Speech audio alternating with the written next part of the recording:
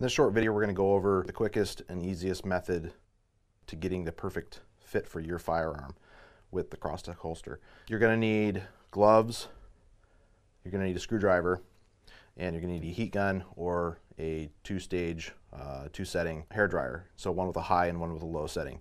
And on the hair dryer, you're going to want to use the high. On the heat gun, typically you're going to want to use the low, but you can use the high. And um, before we get started, the holster comes in the package.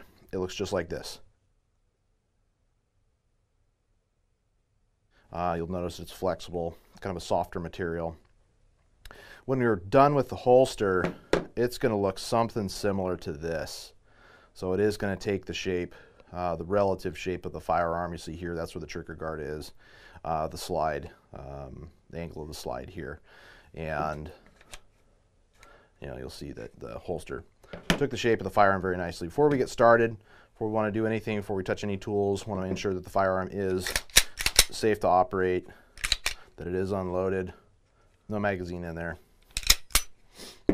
Another thing to um, note before we get going is the fact that guns, uh, every every pistol is going to be different. So, and everybody's different for as far as the grip angle, um, things like that in their firearms, the, the, the angle that the firearm sits in the holster, everything's different for everybody else. So take this as sort of a relative um, generic way to set this up, but I think this way works for a lot of people. It works for most people that we set firearms up or the, the holsters up for them. So another thing to point out too, this firearm does have an optic on it, and because we're using heat, you want to be very mindful of the fact that optics, Vortex, Trijicon, uh, some of the other brands out there. Some of them use rubber parts or, or plastic components, so you're really going to want to be careful with those. Um, on this Trijicon, these things are pretty much bulletproof, but they do have kind of a rubbery uh, button here.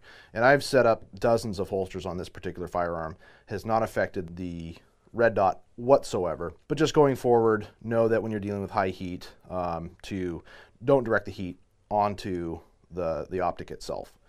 So to get started, I'm going to go ahead and take the new holster. And because I know how this holster, uh, this gun sets up in this holster, I already know where I'm going to be placing the adjustment bolts, which are these four bolts here, the inner bolts. But on some guns, you might have to remove one bolt. Uh, some guns, you bring these two in, and you might bring this one in one.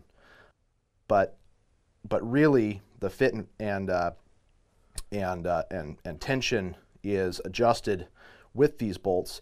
And it's going to depend on the user, it's going to depend on the firearm, it's going to depend on the angle of the firearm and how it sits in the holster, whatever works for you. To get started, because I know that this firearm here works really, really well in a certain position for uh, almost everybody I set it up for, I'm going to go ahead and move the two bottom bolts in one position.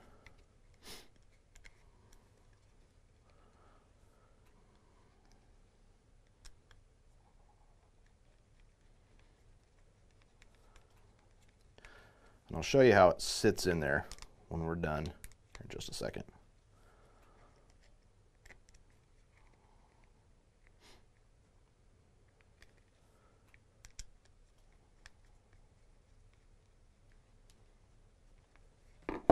Okay, so as you can see uh, from the starting point where those adjustment bolts were, I brought each one of the bottom ones in uh, one position.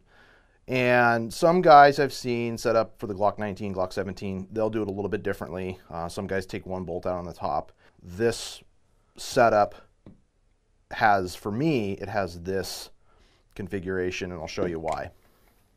So when we're putting the, the gun in for the first time, we're going to want to make sure that the, that the fit is very tight.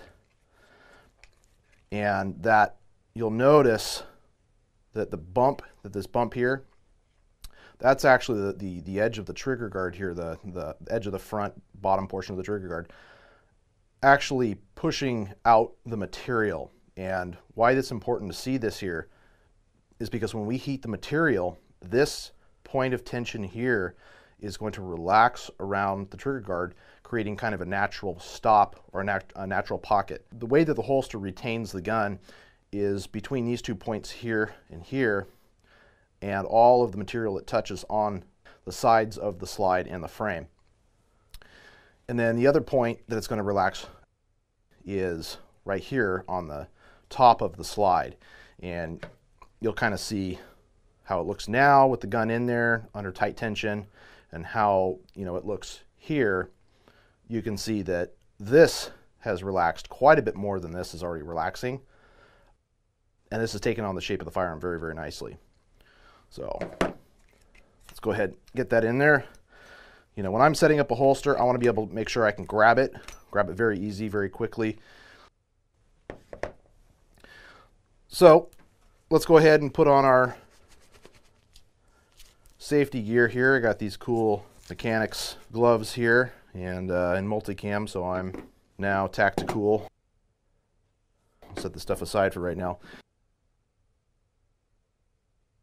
And um, I'm just using a cheap heat gun that we got at Harbor Freight for, I want to say it was like $9 or something. And I, I, I use all this for all the holsters I set up. You can use a hair dryer. On the hair dryer, it takes approximately 10 to 12 minutes uh, of constant heat, you know, kind of going over, going over it on the high setting to to get the results that you'll get in this with this in about three minutes, three to four minutes. So, all right, I've got the gun set in here. I'm to use the high temperature, and I'm just going to hold it back a little bit further. But you can use the low. Low takes about five to six minutes or so, five to eight inches away from the firearm. On high, it takes about three minutes or so, and you'll achieve really, really good results.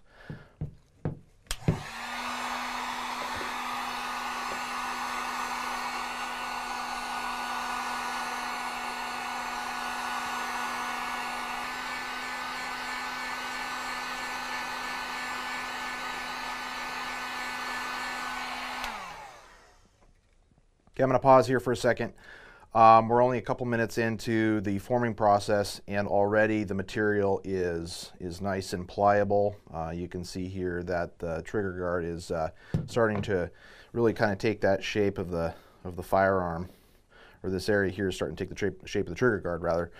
Um, and we're starting to get a really nice relaxation here at the top of the slide. Perfect, this is exactly what I wanted. And we're gonna continue on with the forming process.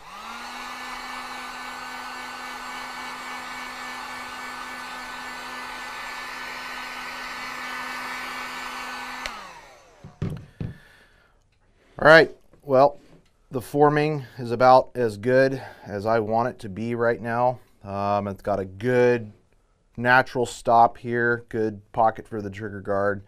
Um, I have really, really nice draping across the top of the slide area. This is going to be a fantastic uh, holster. This is going to be really, really cool. Um, so I'm going to let this cool for about 20 minutes and you don't want to touch this. You don't want to touch this if you don't have gloves on because this is going to be very hot, probably 200 to 250 degrees uh, on the bolts. Uh, the plastic cools down relatively quickly, but your firearm is taking some of that heat as well. So the, the gun's going to be hot, the holster is going to be hot. Don't touch it if you don't have gloves. And still be very, very careful if you do have gloves to touch it. The material is going to be quite pliable, quite soft, and if you wanted to get some more technical fitting, you could probably goof around with the, the material when it's in this state. But, but for me, it works just like this. It's going to look very, very similar to this holster here. I did a little bit more heat on this one than I did on this one, so can't wait to see how this one turns out. All right, be back in about 20 minutes. All right, it's been around 25, 30 minutes. Uh, this has had a chance to cool down. The gun is just slightly warm to the touch. Nothing really, just kind of feels like it's been in the sun a little bit. Holster's nice and cool. Let's go ahead and remove the firearm. As you can see, it's taken on a very, very nice contoured shape. Um, from what it started out as was just a blank, non-customized holster, you can see that it has really, really nicely conformed to the overall profile of the handgun and just getting that gun back in there. Lots of really good retention. It's got a really nice stop here where that natural trigger guard pocket is. It's got some really, really nice uh, contouring and draping here where the, the slide is. And when you get this, you know, put on your, your belt or inside the waistband, it is going to pull a little flatter just like that and it's going to create its own really nice natural retention. But it still still breaks free really really nicely goes back in really nice. And the back uh, you know obviously we don't heat the back up for the videos. You can you can do kind of a double contouring but I find that honestly just the front panel works just fine for me and I carry this appendix. I carry it inside the waistband, outside the waistband. I haven't tried small of the back, but a lot of the guys here do that. Just the comfortable nature of, of small of the back for some people. Um, but for me personally, I carry appendix or at the 1 or 130 position. And it works really, really well. Anyways, that's how you set the holster up uh, with a heat gun or a hair dryer. Uh, just remember, you know, don't direct the heat directly on an optic if you have one. Don't spend too much time uh, in one spot with the heat, with direct heat. Otherwise, you're gonna, you know, you'll discolor the material. Not a big deal, but if you like that nice matte flat black uh, look, then you know, five to eight inches away with a heat gun on high setting, just kind of going over it back and forth. There it is. That's how you set it up. Would love to hear what you guys are running, what kind of setups you guys have done. Leave a comment. Let us know.